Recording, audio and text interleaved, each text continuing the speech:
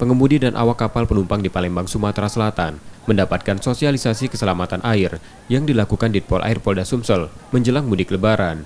Selain itu mengantisipasi penyebaran COVID-19 pada angkutan kapal, Ditpol Airut akan mengawasi kapal penumpang untuk mengurangi setengah kapasitas muatannya.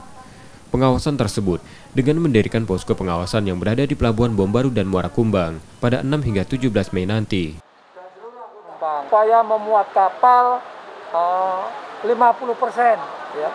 karena ini untuk mencegah COVID-19 jangan sampai bertambah atau terjadi wilayah Sumatera Selatan. Kami sudah siap dengan CCTV, ya, baik yang ada di Bombaru atau di pelabuhan lain.